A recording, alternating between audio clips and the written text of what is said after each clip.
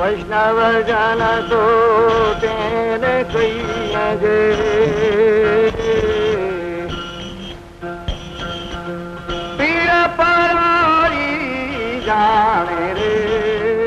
हिंदू शब्द की उत्पत्ति कैसे हुई? हिंदू क्या है? हिंदू धर्म क्या है? बापू समझाते हैं 21 नवंबर 1947 को प्रार्थना सभा के बाद के अपने इस संबोधन में। वैदिक काल को देखें तो उसमें हिंदू शब्द नहीं था। हिंदू शब्द तो ऐसा कहते हैं, मैं तो कोई इतिहासकार नहीं हूँ, एक बड़ी हुई बात सुनाता हूँ।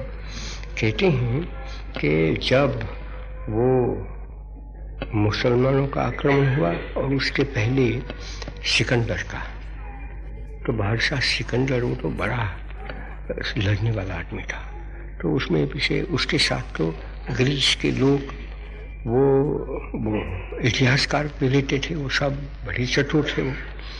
तो और वो तो हिंदू तो सिंधु और हिंदू एक ही बात हो गई। और ग्रीक में स के बदले में ह आ जाता है। तो वो सिंधु का हिंदू हो गया। तो वो तो नदी का नाम है। तो नदी के इस पार जो रहने वाले हैं वो हिंदू बने। वो सिंधु नदी के नाम पर से इस तरह से नाम हुआ। तो इस पार जो रहते हैं, सिंधु नदी के, वो लोग हिंदू बने और वही लोग जिस धर्म का पालन करते थे, उस जमाने में वो हिंदू हिंदू का धर्म।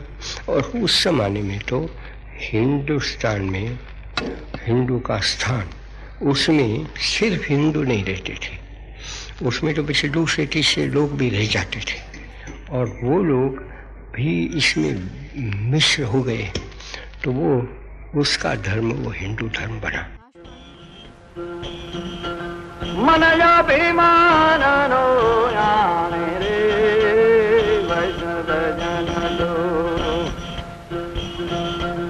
सकल लोकमा